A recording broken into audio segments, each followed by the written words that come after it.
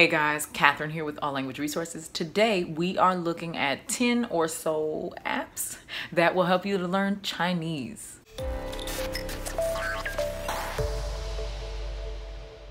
If you haven't started learning Mandarin already, if you're kind of on the fence about it, let me tell you, it's a lot of fun, okay? I don't know what you're waiting for. You can jump right in today with the help of some of these apps. The first app on our list is Pleco. If you are learning Mandarin and you don't have Pleco on your phone, I don't know what you're doing. Literally everyone I know who learns this language uses this app. It's great. It is a Chinese to English dictionary or English Chinese dictionary. What I really like is that you can search for words in Mandarin and in Cantonese. I've always loved that the different tones are represented with different colors in this app. So that really helps me. I don't know if it's helpful for everyone, but I absolutely appreciate having the different characters in different colors based on what tone it is. I absolutely love that. And then I'm a huge fan of the add-ons. Specifically for me, the ones I use the most, especially when I lived in China, were the OCR. It's like a camera add-on where I use this mostly when I'm outside reading the names of restaurants. That was very helpful. And then also a clipboard reader they have so you can copy and paste text into the app and then kind of click along and read through things. Another add-on we want to mention is the Outlier add-on. Now this is one that I actually was not familiar with until I began doing this research for All Language Resources and it's a very cool add-on. We've got a little discount you can check out down here. I personally love to use the handwritten character keyboard on my Apple phone with Pleco. It is really helpful because sometimes, you know, I'll come across a character, I, I like, I cannot make heads or tails of this. I don't know what the initial sound or the final sound is. I sure I've seen this before, but can't remember what it says. So yeah, I really love using that. Up next, we've got the Chairman's Bao and Du Chinese. Both of these are great for people looking to improve their reading skills. You can never go wrong by learning to read Chinese. I just, your horizons are really gonna broaden. Even if you never learn to write Chinese, at least learning to read will help you to really dig into songs, books, movies, all kinds of things, and really just exchanging, you know, on Weixin with your with your Chinese friends. I think it's a, a great idea. Now, if you are brand new to this thing and you have been wasting your time on Duolingo, I'm sorry. If you've been using Duolingo. I think you should check out Hello Chinese. Hello Chinese is free and it's fun, okay? And if you are, once again, a beginner, I think it's just a much better use of your time than some of the other free apps that are out there. Remember, nothing is really free. And so if you're using it and it's not actually getting you anywhere, it's cost to that, right? Definitely check out Hello Chinese. Now this next one, might be a little controversial. Okay, I know a lot of people really love this platform, and I'm not gonna say that it's not a good. I think you should definitely check it out. Um, but I think it whether or not it's useful for you is gonna depend on your learning style. Okay, and that is Pimsleur. This one didn't really work for me, but that's just because I'm a very visual learner and I require a lot of stimulation as I'm learning. Right, like I need to be able to kind of use my hands, and you know I'll get up and I'll walk around and talk to myself. I'm so serious, but it helps. This app doesn't really, it's just not good for people like me, but I could see how it would work for someone. Pimsleur has a number of languages for you to choose from. You can't, you can't. But I tried it out some time ago for German and it just, to me it was boring, but once again, that's because I'm a visual learner and I need a little more going on. I just need more happening. But I know that this really works for some people. So I would recommend that you also check out Pimsleur um, for Chinese, especially because one of the strong points of Pimsleur is because you're hearing the repetition quite a lot with a single phrase. If you don't have access to a lot of native speakers around you, um, I think Pimsleur is a great way to start to get the language in your ear and, you know, in these muscles, okay? So I definitely recommend you trying it. Once again, might not be the best for visual learners, okay? But worth a shot.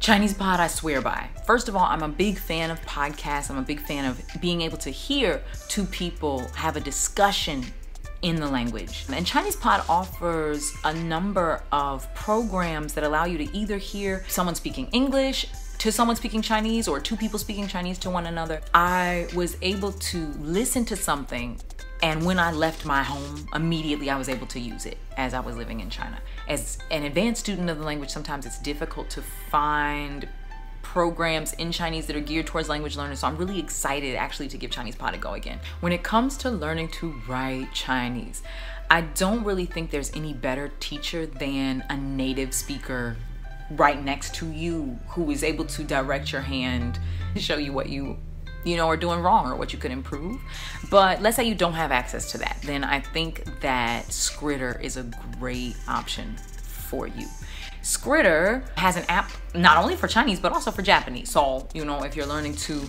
write either of these languages, you can check it out. Ooh, and one of my favorites italki. Now, if you have looked up any kind of language learning, anything online, then you have probably seen an italki ad pop up across your Facebook or Instagram, Twitter, or something like this. If you have not clicked on it, if you have been ignoring that ad, what is wrong with you? Because italki really is where it's at. There is nothing better than talking to a native speaker when you want to get that practice and really advance in a language Okay, I am not only a student on italki, I'm also a teacher on italki. It is a really great community, a global and international community of language learners, and just a great place to go to practice. You know, not only will you learn this language, but like you'll make friends in in other countries. 多一个朋友，多一条路. It's a lot of fun. Okay, so definitely head on over to italki or itakai. I don't know. There's so many different ways. Itaki, itakai, I'm not sure. I say itaki, but whatever. Then there's Speechling, and guys, I, I, you know, like I said, there's not a single thing on here that I'm talking about today that I wouldn't highly recommend. I highly recommend that you check out all of these because we all have different language learning styles. Yeah, so what works for me might not work for you. What works for you might not work for me, but it doesn't mean you shouldn't try the thing. Speechling is one of those things that doesn't really work for me, but I know really works for some people. So check this one out. I know a lot of people learn by repeating phrases after someone. I'm not one of those people. But if you are, if repeating phrases after someone else um, is helpful to you, then please check Speechling out.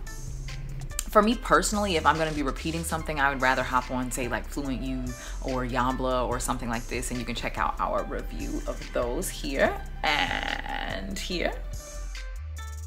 I know some people absolutely hate flashcards, but so here we've got two. And and honestly, I didn't think that one of these was a flashcard app because it's so it's like gamified, you know, so I just didn't realize that I was using flashcards. But okay, so we've got Memrise and Anki. Anki is definitely the more traditional of, of flashcard apps. Um, and Memrise, yeah, uh, I was all out like arguing with Nick about whether or not this was a flashcard app. And I am still like, this is a flashcard app. It's a flashcard app, guys. Yeah, but it's not flashcards in the traditional sense. So I don't even want, if you don't like flashcards, don't pass up Memrise just because you don't like flashcards. I played this thing for a very long time and didn't realize that I was playing with flashcards. Now, earlier we mentioned italki, which is, I think most people hire a teacher or a tutor on italki, but you can also find language partners there. Now, if you don't find a language partner for you on italki. There are apps specifically made for helping you find language partners. Everyone on the app is interested in language partners. Sometimes I find on italki if people reach out to me, for example, I'm not really into language partners. I don't have time. I, don't have time. I really don't have time. But if someone reaches out to me, um, because I'm not on italki for the language partner part of it all, I, I kind of feel sometimes like, wow, guys. I kind of wish there was a badge on my profile that would say like not looking for language partners, you know? But there are two apps that are specifically made for those interested in finding language partners, and you can guarantee that anybody on the app, that is what they're looking for. Okay, so that's really good. You're reaching out to people who have also said, yes, this is what I want. And those two apps are HelloTalk and Tandem. Now, once again, not a language partner person, but I have tried these out and reached out to some people, did some interviews, and I found that people on these apps really do enjoy the services. I uh, recommend trying both of them. Do know that when you are finding language partners, um, they, like people have different desires and they're going to be at different levels of the language. So there's going to be some trial and error for you to find the right person but you would have done the same thing on italki like even if you're paying a teacher you might like this teacher you don't like this teacher so much it's, it's going to take you a minute to find the right people I think that these language partner apps work really well, especially for college students who might not have the budget to invest in their language studies, do have a little extra time. Yeah, so try these out. I think they're great. That's it, okay? Please don't forget to comment below and let us know what you think of these apps and if there's anything that we missed, you know. I think that so many people are learning Mandarin Chinese and a number of other dialects and probably have some really good things to add to this discussion. So, 欢迎在下面留个言，OK？if you got some time, head on over to alllanguageresources.com where our team has put together so many reviews for you to check out so you can find exactly what works for you on your language learning journey. If you're not already subscribed to the channel, please do that so that you'll know when the next video is out. You will find all of the codes for the discounts I mentioned today in the description below this video. See you.